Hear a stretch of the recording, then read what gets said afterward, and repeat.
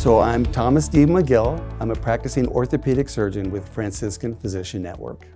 I've thought about being a doctor. I've wanted to pursue medicine really since I was a kid. I always liked the science of it when I was little. My dad's a doctor. Uh, well, he was. He's deceased now. But uh, he, um, I, he was actually an orthopedic surgeon as well, but I, I never expected, uh, even when I went to med school, that I'd end up going into orthopedic surgery, but um, then it just fit with me.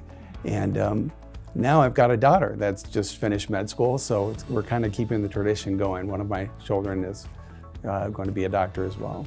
Well, I really think that my job is to keep my patients active. And I, my job is if, uh, I take somebody and I I want to I want to uh, uh, intervene in their life to get get rid of whatever's slowing them down and get them back active again. So um, if I can help them with some type of pain relief, if I can do something, if I can recommend some, some treatment or some type of uh, change in behavior that, that uh, keeps them active, I think that's really what I'm here for.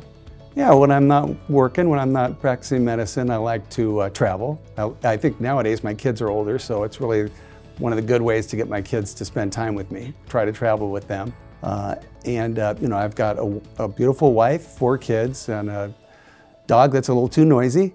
But um, I also just like doing any kind of act outdoor activities, outdoor sports. I like to ski, um, you know, snow or water ski. One of the most important thing is to for my patients is to stay active. And sometimes that requires creativity. You know, sometimes you can't do the things that you really want to do, um, but you can sometimes do things that keep you going a little bit until we can get you back to doing the things you want to do.